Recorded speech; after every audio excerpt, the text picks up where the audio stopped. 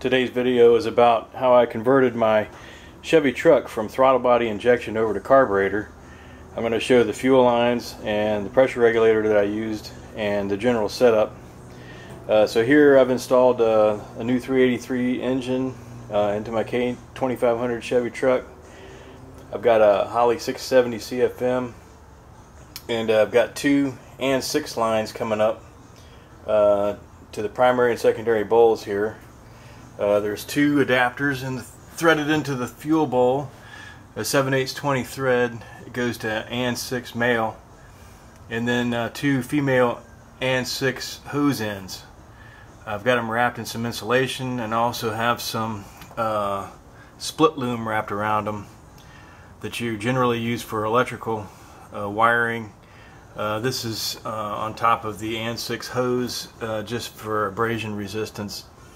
And uh, also from Earl's, I purchased some uh, hose separators. You can see there, it's uh, aluminum two halves clamped together to hold your hoses together. I've used several of them here. And uh, I've actually uh, fueled my carburetor from the rear instead of in the front because I am using the in-tank fuel pump. So as you can see, uh, I have it clamped there behind one of the one of the hoses clamped behind the uh, stud that's holding the valve cover on. And then uh, the other hose from the rear bowl comes in and it goes side by side. And then uh, I have one of those um, hose separators and then another one down below.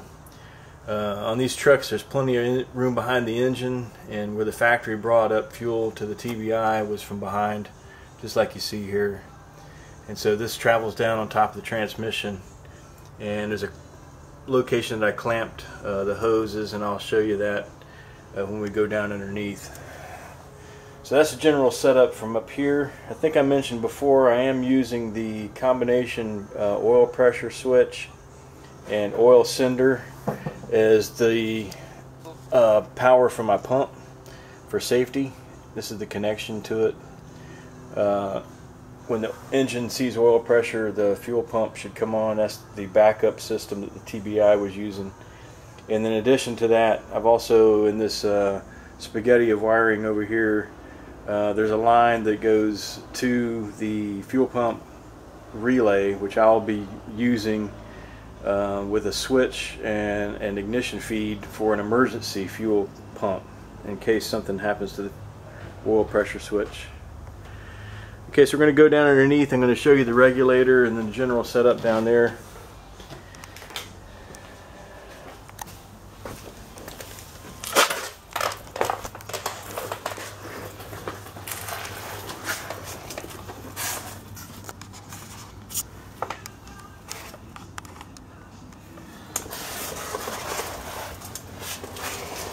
Already have a light over here illuminating it. So this is the from professional products this is the uh, fuel pressure regulator that I'm using. It has a return line uh, there in blue and red uh, hose ends that's the return. And the two lines you see going straight up there with the 90 hose ends uh, goes up to the carburetor. Uh, this is preset to 6 psi or so they say uh, which I hope it is because it, the way I have this thing hooked up here, it's going to be difficult to adjust the pressure. So hopefully it's 6.6 psi. And so these lines go up above the transmission and they go up over uh, the exhaust pipe there. And you'll notice I've wrapped it with some insulation there. There's plenty of room there. It should not be an issue. And so I tapped into the lines using a AN uh, to tube adapter. Uh, may be hard to see in the video there, but um, the return is a 5 16 line, uh, pretty typical of cars that had two barrel carburetors on them. Uh, if you had a high performance car, a four barrel carburetor, usually it's a 3 8 speed line. So in this case here, I had a 3 8 speed line and a 5 16 return. Uh, I'm using a 5 16 uh, a tube adapter to AN6 and it goes into this hose here for my return. Drop down below the torsion bar so you can see. On the bottom of that regulator is actually the return and I'm using a red and blue hose ends for that. And so the pressure feed line that's coming from the in-tank pump uh, is that one just below the frame rail there. It goes in um, I'm using a 30 degree hose end on that one because uh, the uh, outlet on or the inlet to the regulators at 30 degrees there so that brings out the hose straight. And that goes into the remaining hose that I sacrificed from the original fuel line uh, goes into another one of those uh, tube adapters that I was talking about. And then I'm going into the factory uh, TBI fuel filter so I used uh, parts from the original fuel line to adapt into the AN hose setup that I have here. Uh, I'm going to try to sweep around behind here and you can see maybe a little bit more.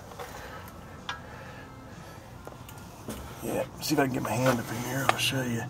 So this is the 5 16 return line and the factory had this connection here and then this went into the uh, factory lines that went up to the TBI and I just cut that off and put my tube adapter there. And then for the feed for the actual inlet or out output from the fuel pump this is the original uh, TBI fuel filter a short section of the uh, hose and then adapted into AN uh, 6 hose over here.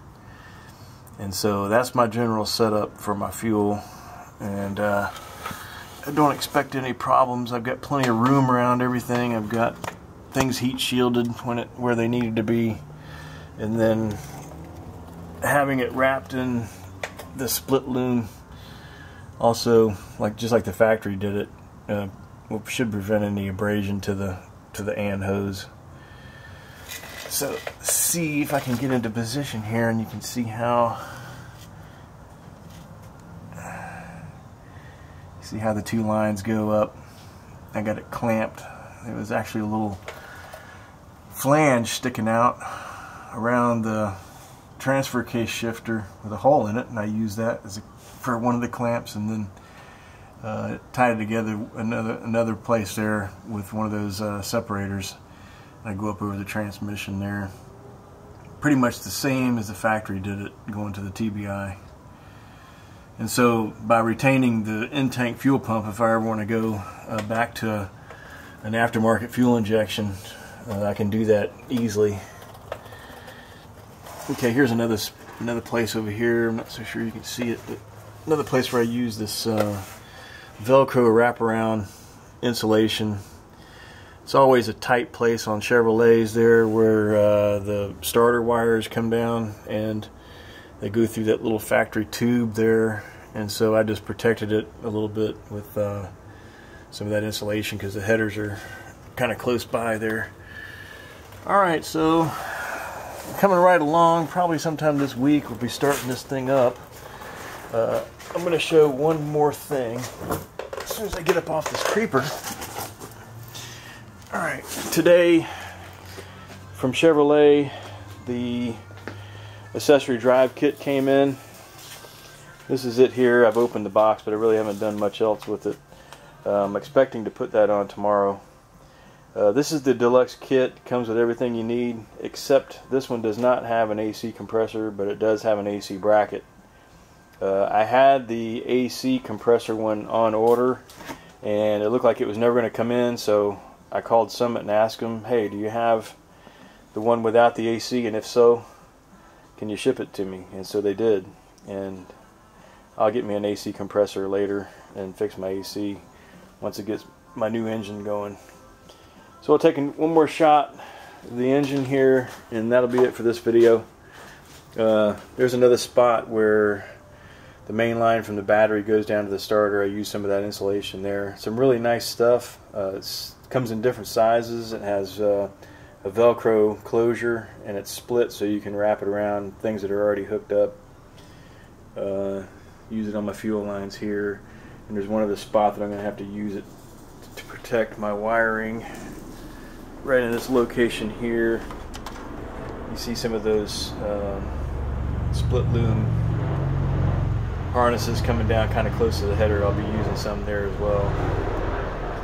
Got my carburetor on and mounted, bolted down, and my throttle linkage is already connected. So that's it for this video. Thanks for watching.